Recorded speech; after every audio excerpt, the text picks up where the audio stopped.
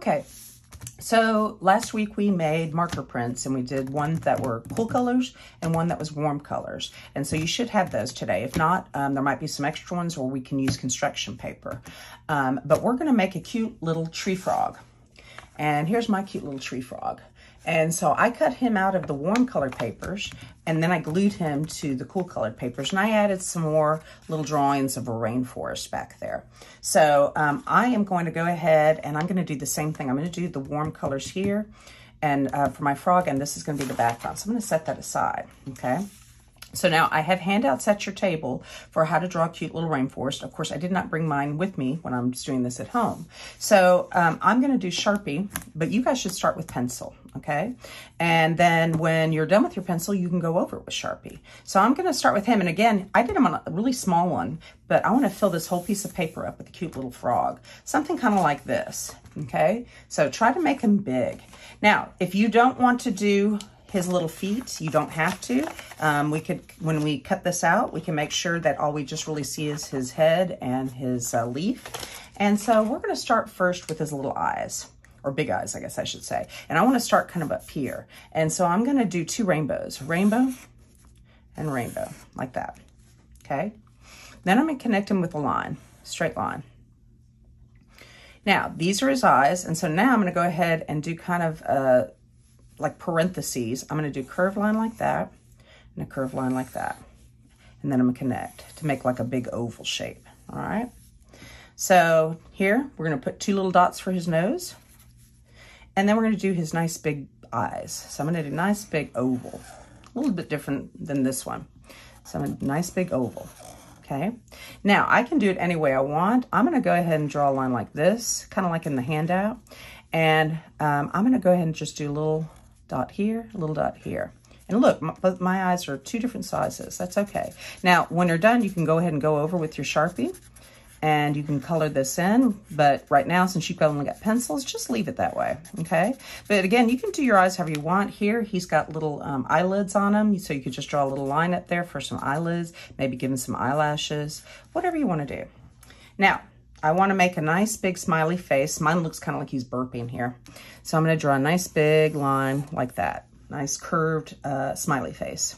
And then I do his cheeks like his he's uh, smiling really big.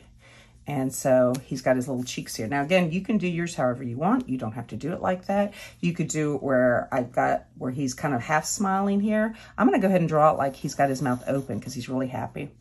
And I might even put his, draw his tongue in there, okay?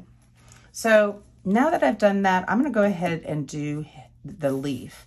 And if you were looking at this leaf, I would think that that leaf was a heart shape, wouldn't you? So I'm going to take, and I'm going to kind of turn it on the side, and I want to make sure that his leaf is right up underneath his chin. So I'm going to start first with a big leaf, like that, and another one and it doesn't even have to be perfectly the same. There we go. There's my nice big leaf. Okay, and I could draw a little line in here. Could have a little stem on it if you wanted to. Um, now I'm going to do his little arms.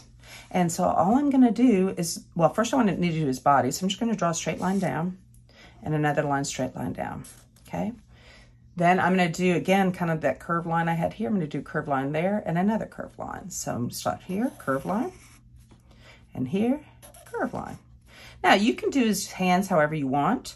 Um, I could, I did little triangles here. I mean, I'm sorry, little rectangles. I did rectangle, rectangle, rectangle.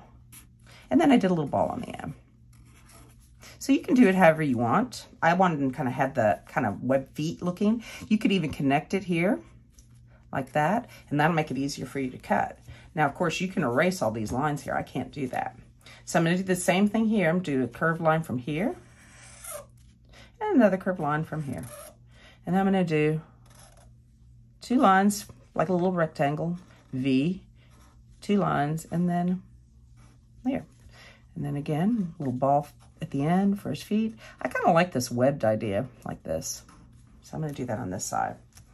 Now, you could add his little legs, but if we cut him out, you may not even see his little like legs because he might be covering, uh, holding that little um, leaf in there and we wouldn't even see it. But I'm going to show you how I did do my legs. So he's got these little feet that you know, like your thighs, they're going to kind of stick out. And so here I'm going to go ahead and do the one that's going to stick out. It's going to come out like that. And I don't even think we'd see his foot because I think the leaf would be covering it, which is great. Now over here, I could do the same thing, except that I want it to come out. I'm going to pretend like I'm drawing. Here it would come, and now it would come down this way. And then we do his little foot like that. And again, we would do those rectangles. Or, sorry, yeah, rectangles. With the little balls on the end. And then you can do the little curved line. Now, the reason I kind of like that curved line is because now we're going to cut him out. So what I'm going to do is I'm going to fast forward this part of me cutting it out and see how I do it, okay?